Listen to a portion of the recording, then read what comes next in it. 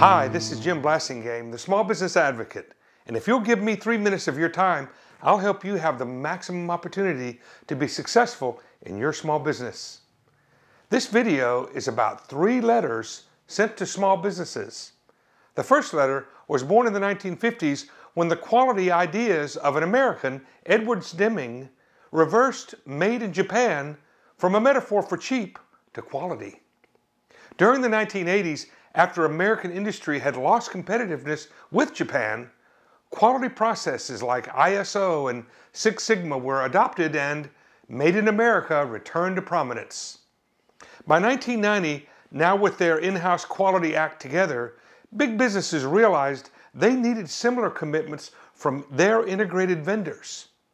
That's when small businesses started getting letters from business customers requesting evidence of their quality process or no new contracts.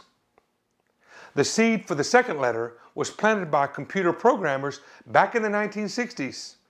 To conserve expensive and precious data storage, program date codes were written with six digits, as in 121565 for December 15, 1965.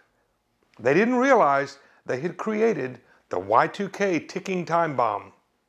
Around 1995, experts started worrying that when the clock ticked midnight, January 1, 2000, zillions of lines of date sensitive computer calculations would fail by going back a century. Consequently, the codes in millions of programs had to be fixed, and by 1998, small businesses started getting letters from their larger customers requesting evidence of their Y2K compliance or no contracts with eight digit dates. The third letter was born in the middle of the 20th century when we started realizing that the solution to pollution was not dilution. Since then, environmental stewardship has evolved from not polluting to sustainability. Sustainability means doing more with less, including making waste useful, especially water. Not only is it the right thing to do, but mm-hmm. businesses are learning that sustainability can be profitable and it's good for public relations. The sustainability letter hasn't been sent yet, but it's coming.